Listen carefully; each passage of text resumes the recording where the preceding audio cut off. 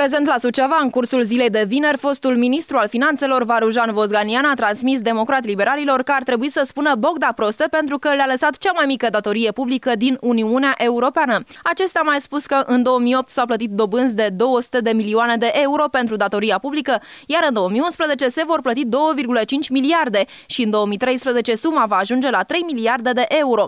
El a adăugat că din punctul său de vedere, primii doi ani din actuala guvernare PDL au însemnat o întoarcere cu 5 ani ani în urma a României, în special în ceea ce privește datoriile și pierderile.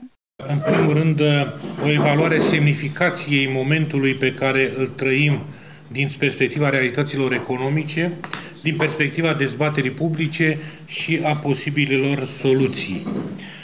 În primul rând, evaluarea momentului.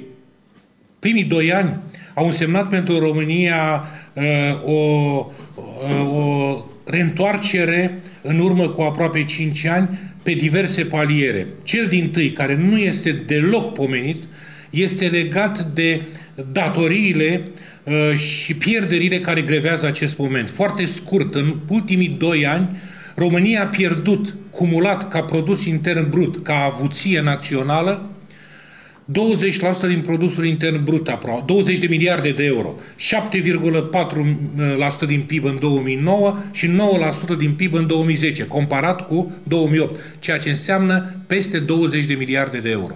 Nu în ultimul rând, vicepreședintele PNL a arătat că România va avea o problemă cu refinanțarea datoriei externe în condițiile în care băncile europene își restrâng liniile de finanțare, iar piețele internaționale nu vor mai acorda refinanțări.